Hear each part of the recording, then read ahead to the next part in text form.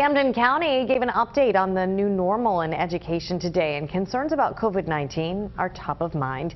Eyewitness News reporter Natasha Brown has the story. The start of the fall semester here at Camden County College means campus is usually bustling with students. Like most colleges, the pandemic has changed everything. On any given day, maybe 20% of our student population is on campus, which allows us to more easily social distance. It allows us to keep class sizes down. College President Don Borden says they're complying with CDC guidelines and in frequent communication with state health officials in case cases rise. We've had cases, but we have not had many. Um, when we've had them, we immediately contact the Department of Health in the county. Uh, they take care of the tracing aspect of the process. Will this school year uh, be a successful school year?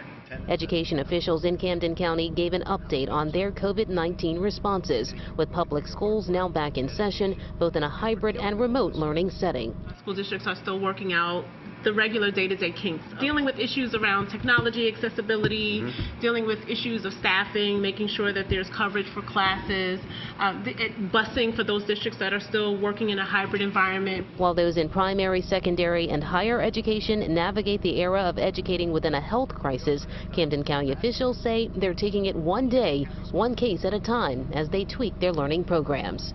We have to be prepared in case we go fully remote again, should the numbers go up and, and people get, you know, deathly ill. Our priority is going to be on everybody's safety.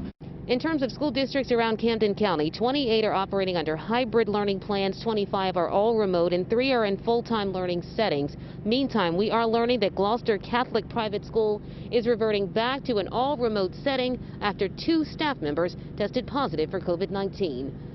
In Gloucester Township, New Jersey, Natasha Brown, CBS 3 Eyewitness News.